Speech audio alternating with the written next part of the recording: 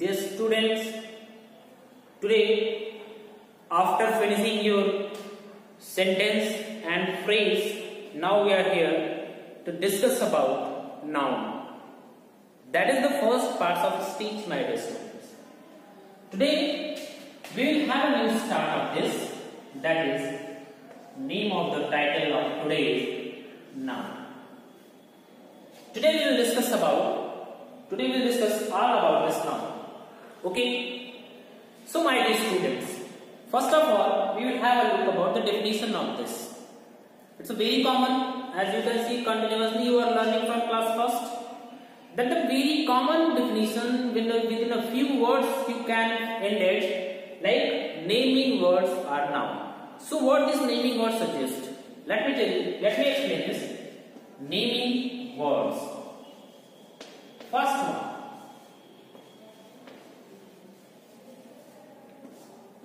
Right. So naming words means the words that represents a name.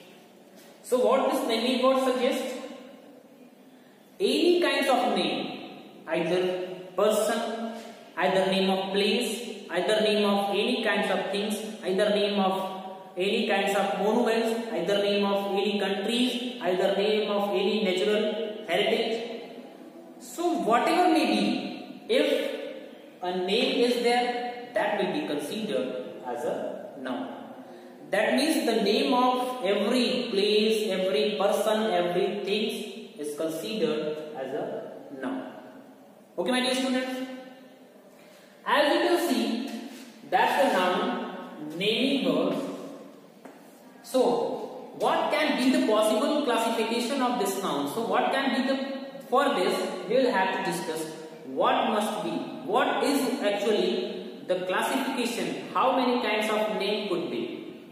Right. So, first, as you can see the name, suppose I am your English teacher and my name is Siddharth Kumar Tiwari. So, I am just a single Siddharth Tiwari in this Columbus society. I am not just talking about the Siddharth is a single name and it's a unique one. No, I am just talking about this place. Okay, so single Siddharth Tiwari and as a teacher is present in that. Okay, so I am having a unique name. That means that name is unique for me. That means I will be the proper noun.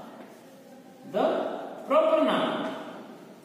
Now you can well understand that the specific name, that the specific name is given to a person is considered a specific name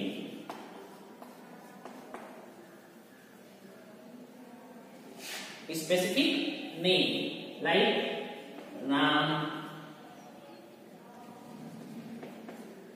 Sita, Mount Everest. Okay, so that is proper noun. Then after what? Again, my name is this, my name is whatever, and what I am, I am a boy. And parallel to me, another teachers, another boys who is just, you can see inside your surroundings, they may have different kinds of name, but what we classify, we classify another boy or girl. So such a classification class like boy, girl, man, woman, cow, that is a noun. But it's a common name to all, so it becomes a common noun. Common noun. Okay, a name common to all. Okay. Example boy, girl. Yes. Okay. Then after the third word. Sometimes in your locality you can see the collections. Collection means the gatherings of the people, the meetings of the people. And that is considered when the collection of the people has been shown then it will be a collective noun as its name. Collective noun.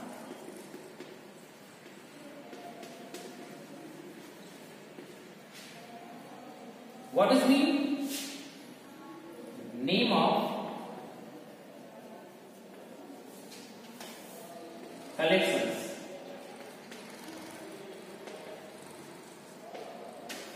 And what's an example for this? Crowd, bunch.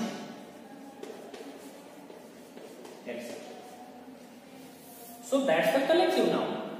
Then after my dear students, we'll discuss about the fourth kind of is that is sometimes the things that is actually present but only we can feel. Only we can feel only we can sense only we can understand like the things the spiritual power. Means blessings curses honesty. These are the things that is definitely present but they are just only considered. So that becomes an abstract noun. Means the things which is considered as abstractual. So it becomes abstract noun and name of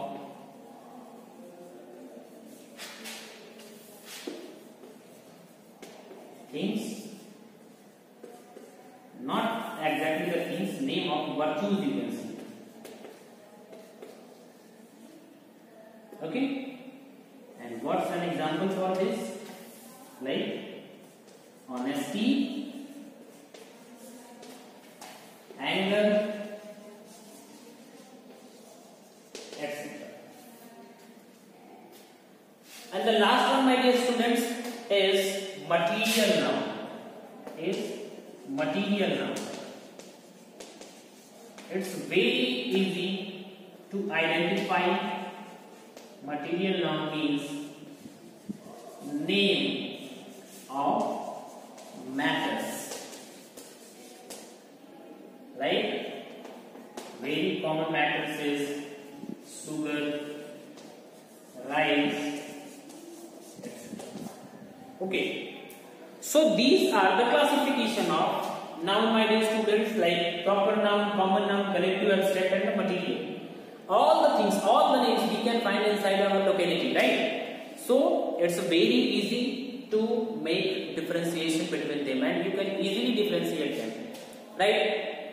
Then further my dear students, we will again have a look over the first you will note it down and then after we are just jumping on another another aspects of classification of noun and that will be on the basis of gender and on the basis of their number okay okay my dear students so now i'm just leaving this number here because again we will have to make this numbering that time and we are the curious one we are the educated we are the wise person of the society and society expectation are more from us. That's why we will have to conserve the things whatever we can. Whatever contribution can be, we must preserve the things. Okay, my dear students? So, now further, we will discuss about the classification of the noun on the ground of gender. Right. So, first, the question is this, what a gender is? Gender decides the things is either male or female or living or non-living. Right. So that is all about gender. That's the basic definition for the gender. That it's a uh, creates a criteria. It creates a limit for the classification of male or female. Okay. For the first as a classification of gender, it, it is masculine. Masculine. Okay. Basically, masculine gender refers to male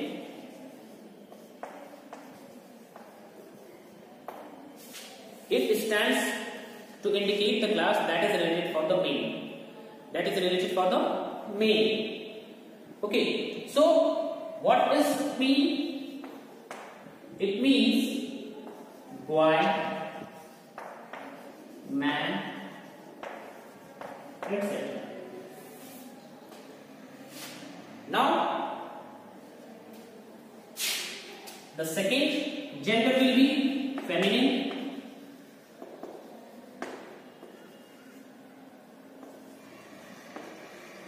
What this second gender indicates? As masculine gender refers to male, in the same way, feminine gender refers to female. Okay? And what will be the example for this? As it is girl and woman. Okay? In the third one, these two are the living things. But what about the classification of non-living? It becomes, sorry, third one we will have a discuss about the common gender. Some professions come in such a way basically common gender refers for the both male and female it refers both male and female right so what will be the example example will be teacher example will be teacher Example will be go, etc. My dear students, these three are the classification of living things. But what about the classification of non-living? It's another. It becomes neuter gender. Neuter gender. What about this neuter gender, dear students? This is non-living things. Neuter gender that represents non-living things. As an example you can see like pen, pencil, etc. Whatever the material, whatever the things that you can see inside your locality, that will be the part of your this gender classification. My dear students, you can prepare your notes well with the help of these kinds of hints, right? And it's very easy hints for you. And it's very, very easy to learn also. With the help of these hints, you can easily write, learn and understand all the classifications, all the definitions that gender indicates to us, right? Then after, again my dear students, we will have one another classification on the ground of their number of nouns. Okay? So, my dear students, according to the number, noun can be further classified in two broad categories. Actually, these two are the categorization and for what we will have to discuss about. A number of rules. Rules to change a noun into singular to plural. Right? First have a look about the number. About number. What this number suggests? My dear student, this number suggests that what is the actual number of your noun? What is the actual number of your subject or object? As you can see, the noun is always used as a subject or object, right? So, it can be used according to your Hindi in three terms. The first one is the single noun, second one is the double noun, and the third one is the more than two that is considered as the plural one.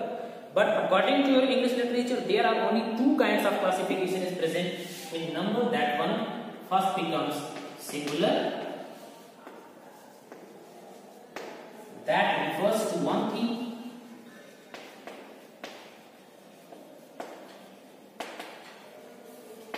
Like pen, boy, mountain. Okay, so these are the examples. And what about the second classification of this? That is the plural one. Plural. It refers more than one. More than one. And what is this? What's an example for this? Pens, boys will be converted into plural as boys and mountain will be converted as mountains. And that's So my dear students, as you can see, these are the two classifications. When a noun stands in a single number, that will be considered as a singular one. And when the same noun will be stand as a plural one, then it will be considered. Plural means more than one. Okay. So, my dear students, that's enough for the noun. And again, today I am going to provide you a homework. And the homework is what will be the homework? Revision and rules to convert singular into plural right so you have to read the rules that is printed on your textbook that you can see the how a bus can be written as buses our boy will be written as boys right so you will have to understand these kinds of rules by just reading that is easily written on your textbook. So my dear student, you will make a revision of whatever we have discussed about now and you will again read the rules. That is I will 4 or 5 in numbers in your textbook. How you will going you are going to convert a singular number noun into plural. So that's a homework for you my dear student. And uh, my dear students again and again you will revise it. Again my information to you. Be safe. Further you are getting any problem regarding this noun then definitely you are free to ask and you can ask freely without any hesitation. My dear students again we will meet in the next video session. Up to the time thank you. Have a nice day.